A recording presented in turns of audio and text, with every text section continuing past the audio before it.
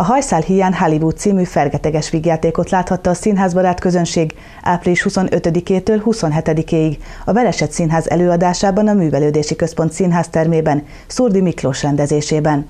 Ken Ludwig, amerikai szerző darabja 30 ország után másfél éve látható Magyarországon, ezen a három estén pedig ajkán szórakoztatta a nézőket.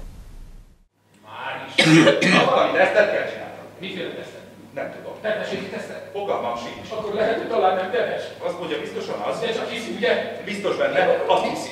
Mi? Most akkor terhes vagy nem? A bérletes színházi előadások sorában Ken Ludwig amerikai szerző sikerdarabja következett a Vereset Színház előadásában.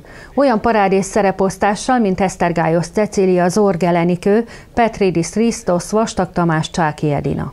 A darab a rendkívül szórakoztató, váratlan fordulatokkal teli helyzet komikumok sokaságára épült. A sodró lendületű történetben a Hollywoodból kiöregedett színész házaspár és megkopott fényű társulatuk félreértésekkel teli életébe kaptunk bepillantást. Esztergályos Cecília alakította Etelt, a nagyot halló anyóst, aki a társulat súgója, a félrehallott mondatok sokaságával a darab egyik fő mozgatórugója. A művésznővel az előadás előtt beszélgettünk a darabról és szerepéről.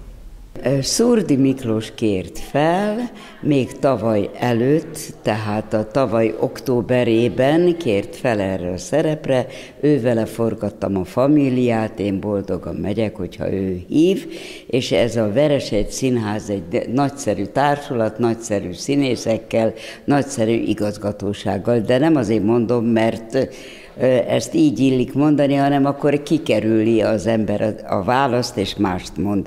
És ez egy nagyon édes, öreg színésznő, a lányomat játsza a főszereplő, úgyhogy azt mondanám, hogy egy kiöregedett,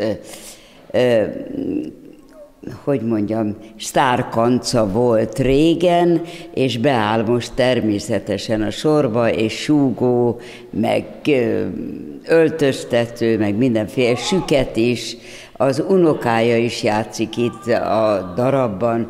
Ez egy nagyon édes szerep. Egy nagymama, aki buffog, puffog magában az unokájáért, a lányáért, a vejéért, Hát amilyenek a nagymamák, hogy nem csak kötnek és nagyon édesek, hanem megmondják a véleményüket.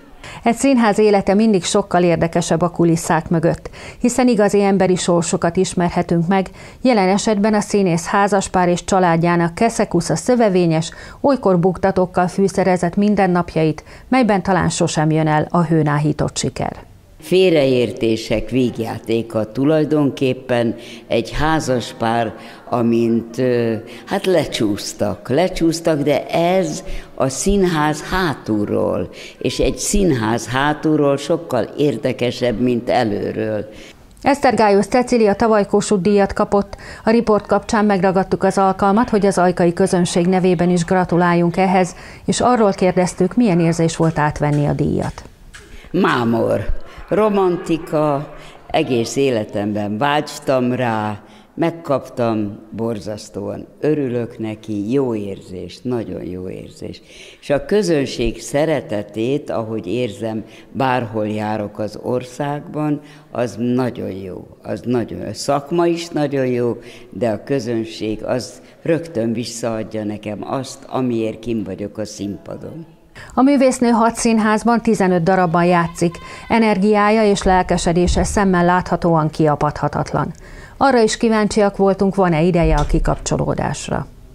Nincsen idő kikapcsolódásra, egyáltalán, egyáltalán nincs, de hála Istennek. Hát én 76 éves múltam, úgyhogy ebben még van egy pár év, hogyha az Isten is úgy akarja, lehet 10-20. A Vereset Színház produkciója elhozta azt a hétvégi kikapcsolódás feltöltődés érzését a nézőknek, mere minden egyes alkalommal vágyik a közönség, így aztán az előadás végén garantált volt a hosszú perceken át tartó vastaps. Nagyika, nem emlékszel a karácsonyi beszélgetésünkre? Mire? A karácsonyi beszélgetés. Úgy, de szeretlek, nem meg, semmire nem emlékszem, semmire. Aj, Nagyi, Na, ez a te életed, Na. meg anyáé és apáé.